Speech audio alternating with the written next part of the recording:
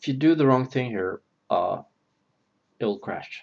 So uh, usually it will crash if you don't, for example, if you select uh,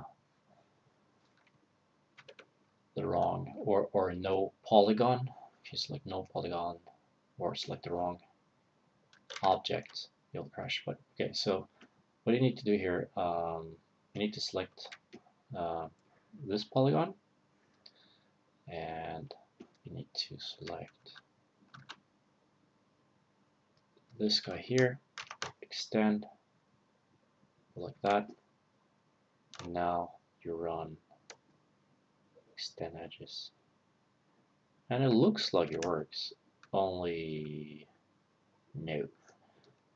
So I didn't really quite get how to solve, uh, fix it. But here's what you do. You just flip it. You just flip the whole thing. Um, so flip the polygons, go like that, do the same thing, deselect that one, and run the command.